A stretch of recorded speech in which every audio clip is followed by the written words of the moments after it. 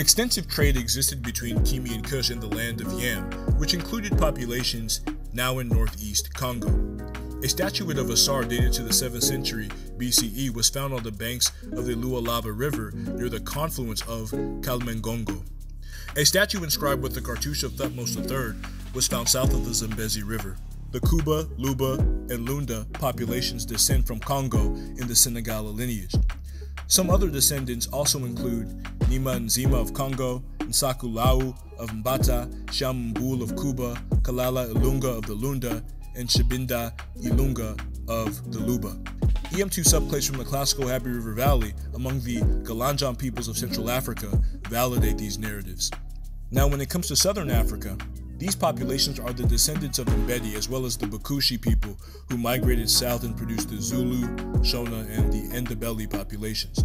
They are part of the Sagara migrations. Nguni and Luzumana are the descendants of these lineages. Zulu Kamalandela is also a relative of Mbedi. Malunda, son of Mbedi and Princess Mbuya of the Razwi in Zimbabwe, produced the Lozi populations. The EM2 subclades from pre-dynastic Kimi, seen in modern Nguni populations, supports this migration history. The Somali are descendants of Sa Male, and they are part of the Sagara migration, as well as the Himyasum migration. According to the analysis and research of Antenor Firmin, along with contemporary Africological linguists and historians, Somali is genetically related to Metrem and Kimi or ancient Egyptian.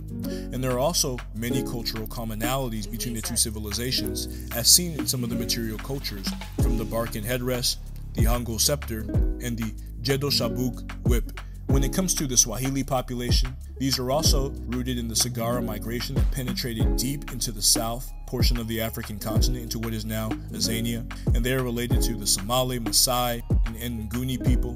Mfalme al-Muli, the pre-Kilwa Swahili ruler, would descend from this lineage, and this also refers to Punt in classical documents, which is corroborated by the Stele of Yabu, Nasut Paraha's visit to Queen Hatshepsut, and the extensive trade and commonalities. Swahili is genetically related to Metrem and Kimi and other Paleo-African languages, as can be seen in some of the body part expressions. There's numerous correspondences in architectural tectonics, and EM2 and EM35 subclades from classical Africa and Kimi and Kush that are found in modern Swahili populations firmly establishes these migratory origins and ancestral links.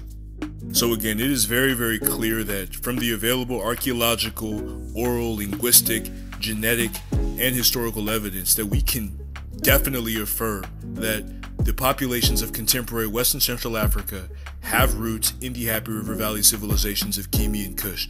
It has been confirmed beyond any reasonable doubt that this is a fact, and we should use this information to foster a deeper sense of unity and interrelatedness and collaboration among the populations of the African continent and the diaspora, because this is important when it comes to developing modern African societies that reflect the mission, the values, and the objectives of our ancestors to be the best versions of themselves and their societies that they could possibly be.